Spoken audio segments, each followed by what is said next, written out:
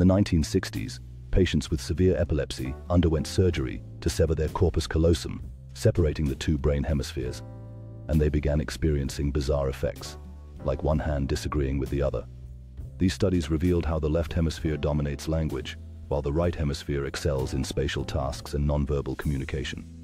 It demonstrated how each hemisphere can function independently, leading to breakthroughs in understanding lateralization.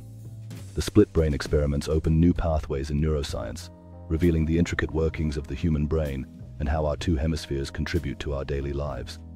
This groundbreaking work has not only enhanced our understanding of brain function, but also paved the way for new therapeutic approaches for individuals with neurological disorders.